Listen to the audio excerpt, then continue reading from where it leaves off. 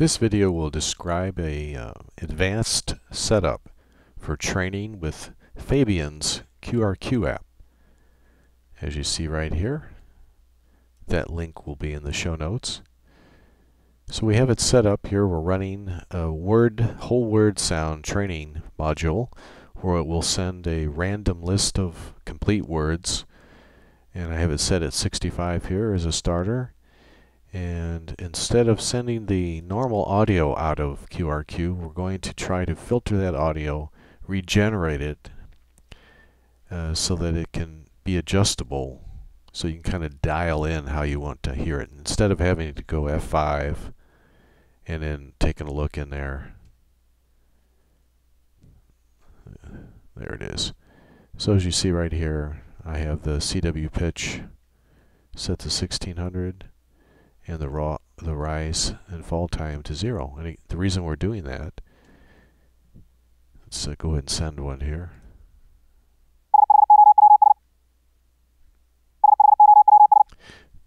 Having it be regenerated, then you can kind of dial in as you get faster and faster.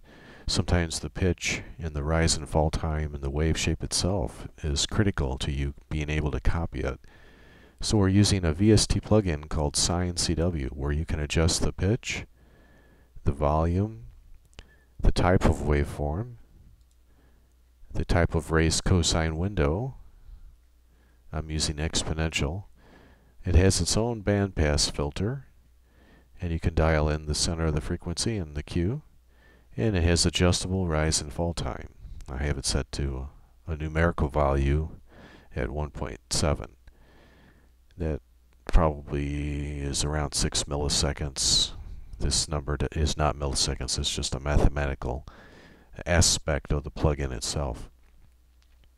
So basically what we're doing is we're coming out of Pulse Audio with QRQ.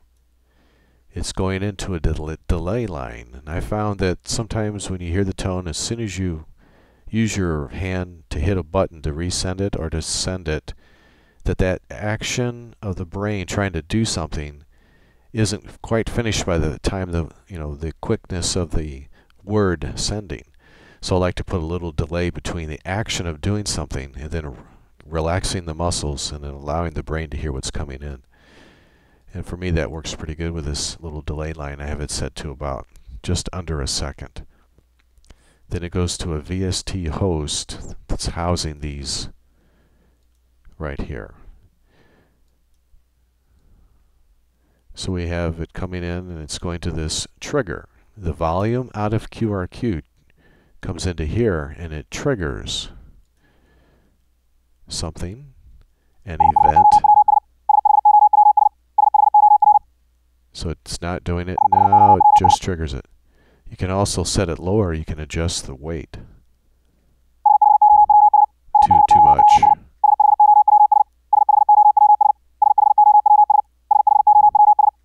So you can set that a little bit from light to pretty heavy. And what this is doing is it's triggering, as soon as that volume gets over that threshold here, it sends a MIDI message, a note on, a note off that clones and duplicates perfectly the incoming element from QRQ. Then the message from ReaGate goes to Sine and Sine is a software code practice oscillator. So ReaGate is keying Sine CW.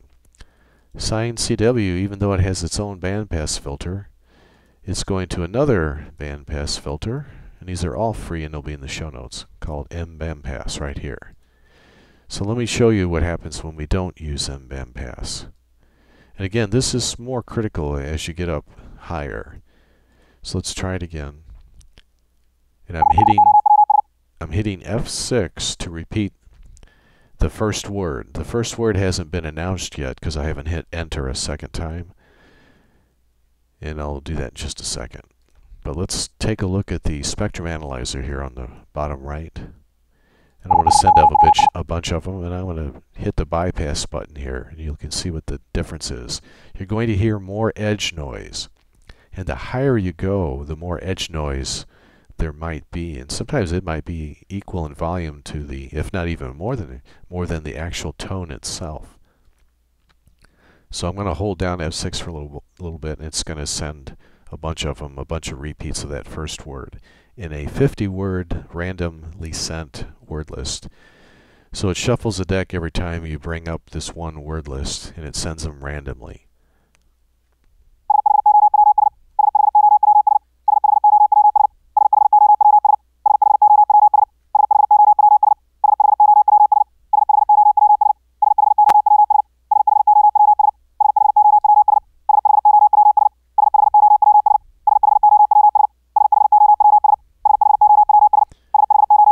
Adjust the pitch here.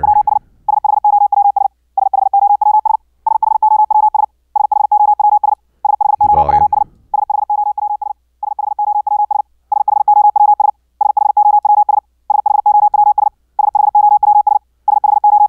It's a little bit different sound there.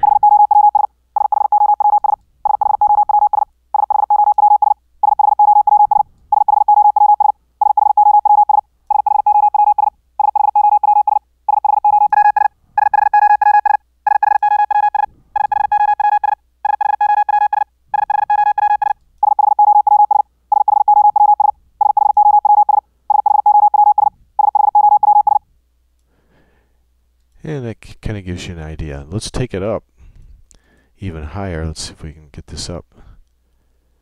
We'll double the speed here, go up to 130, and we'll do it again. And you can hear the edge noise even more up this high.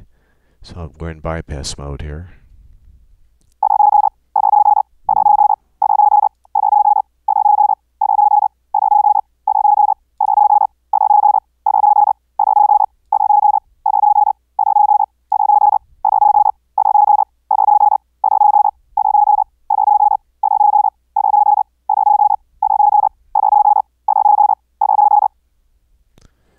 And I think you can kind of pick up the idea there. There's quite a bit uh, more edge noise without using this final bandpass filter.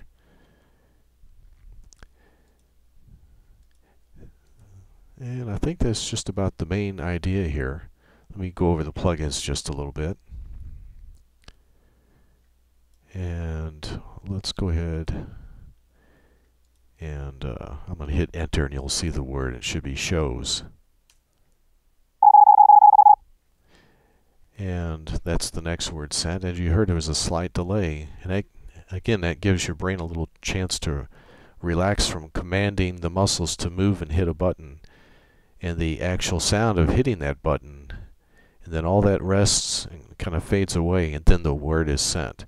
So it just allows a little bit more attention, uh, focus on the uh, the next word that's going to be sent, which should be should have been following.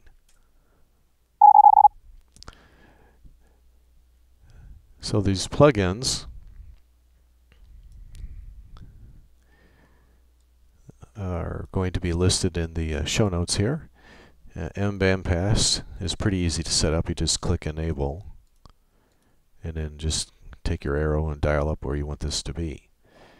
I'm about 100 hertz below and 100 hertz above the actual sent frequency and we're using another one here called M-Tuner, and it's about 830 hertz coming out of Sine CW, the VST plugin. So that gives me an idea of where to put this bandpass. And we'll go over this one more time. So comes out of Pulse Audio, goes to a delay line, then to a VST host. Inside the VST host, we have these plugins get this over here just a little bit. Okay. And these are the nodes. So that's the audio out, audio in. This comes into ReaGate. Again, it's this is just a threshold you set with this slider here. And go use these settings to start out with. Now the filter I have on ReaGate is just above and below the 1600, that should be about right there actually, about 1600 hertz that's being sent out from QRQ, that application.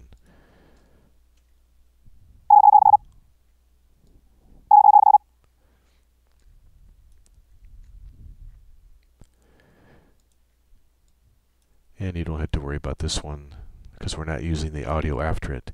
because this send MIDI on open and close, this note 55, that tells Sine CW where in that frequency range you want the pitch to be. So you can start out with about 55 and then varied up and down. Goes to the bandpass, to the uh, M tuner so you can see what the frequency actually is. So you can adjust bandpass. We're going to span a spectrum analyzer so you can look at the uh, waveform spectrum and, and uh, see if there's any other things, artifacts, audio artifacts on here that you might want to try to remove if something's going awry. Otherwise, it's it's just a double checking system. And then out, and it goes over here to system, which is my sound card, the screen recorder, and this is the scope. Let me show you that real quick. This is the green uh, pattern is on the channel 1, and on channel 1 is the output of QRQ before it gets filtered. And on the bottom is the sine CW after the filter. So you see it has a pretty good waveform. So let's set that up one more time.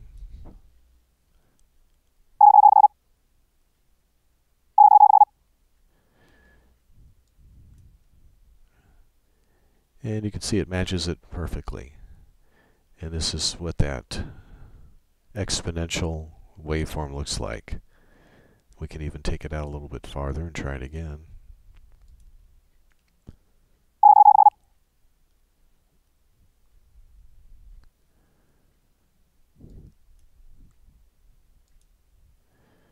And we hit enter and see if we have it right. Purist. All right. So that's the way you train. Now in, on uh, QRQ, you hit the page up, page down to lower the speed and you just so that's bringing it up. So I'm hitting page down now. It's going back down in, in speed. Hit F6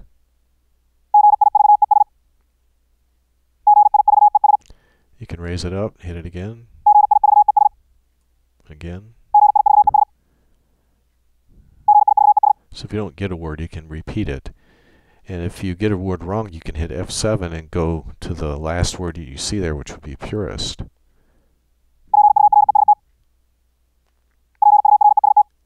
And so this is the F6 or the F7 are two of the greatest features of QRQ because it allows you to repeat the current word. If you still get it wrong, you can hit F7 and knowing what the word is, it helps your brain train. So go down until you can kind of conceive that, oh, there it is.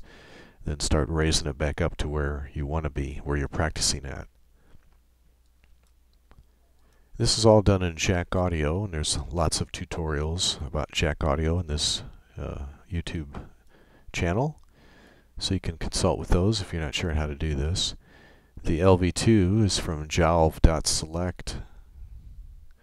This is the jalv.gtk and it, it uh, brings in all the LV2 plugins on a Linux operating system.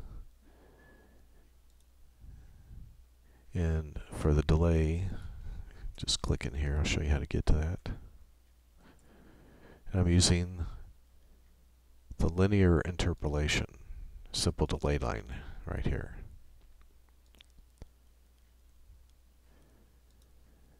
And that, that has helped me a little bit. Uh, there, with that slight delay gives, again, it gives the uh, brain a chance to relax from having done something to going into reception mode. So now you're ready to hear the word. And you're not also uh, interfering the sound of the CW being sent with the sound of clapping the the keyboard with that clunk sound that it makes. So sometimes when it's being sent immediately, you get both at the same time. So it's it's a little bit of QRM and QRN at the same time. So that's just the basic setup for an, kind of an advanced configuration to help with extreme training for QRQ when you, things are really getting critical at the higher speeds between the band, you know, the edge noise, the pitch, and it seems like the higher you go that uh, it's it's a little less edge noise, a little more clarity on the tone if you raise the pitch a bit, up pitch a little bit. All right, thank you for watching.